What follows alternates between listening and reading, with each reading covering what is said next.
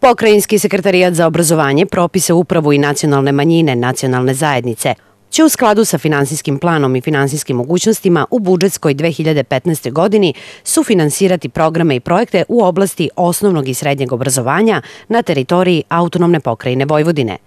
Realizacija finansijskih obaveza vršit će se u skladu sa likvidnim mogućnostima budžeta autonomne pokrajine Vojvodine za 2015. godinu – Na konkurs mogu aplicirati ustanove osnovnog i srednjeg obrazovanja i regionalni centri za profesionalni razvoj zaposlenih u obrazovanju. Sredstva su namenjena za osavremenjivanje obaveznog izbornog i fakultativnog nastavnog rada, podizanje kvaliteta obrazovno-vaspitnog procesa, uvođenje inovacija i elemenata drugih nastavnih sistema, izradu nastavnih sredstava i drugo prosvetnu saradnju, očuvanje životne sredine, bezbednost učenika, inkluzivno obrazovanje, razvoj talenata, stručnu praksu, takmičenje učenika koje nisu u organizaciji Ministarstva prosvete, nauke i tehnološkog razvoja, edukativne kampove i susrete učenika – kao i usavršavanje nastavnog kadra, promociju i informisanje.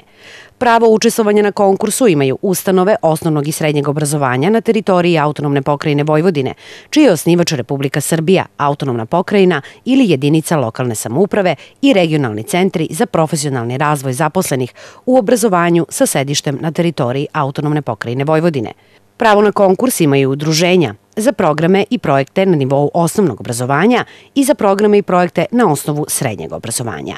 O dodeli sredstava korisnicima odlučuje pokrajinski sekretarijat nadležan za poslove obrazovanja na predlog komisije za sprovođenje konkursa koja razmatra pristigle zahteve. Sekretarijat zadržava pravo da od podnosioca zahteva po potrebi zatraži dodatnu dokumentaciju ili informacije – Prijava na konkurs se podnosi u pismenoj formi na jedinstvenom obrazcu koji se objavljuje na internet stranici sekretarijata i koji sadrži cilj, aktivnosti, korisnike, finansijski plan i održivost programa i projekata sa rokom njegovog završetka. Konkurs je otvoren do 15. maja.